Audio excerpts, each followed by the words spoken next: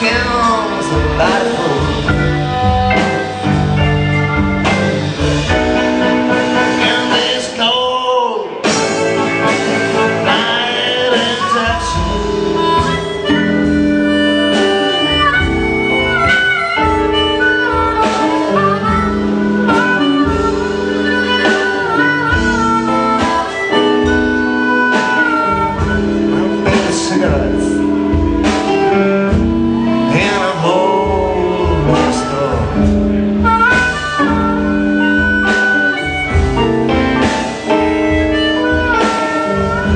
After a load of people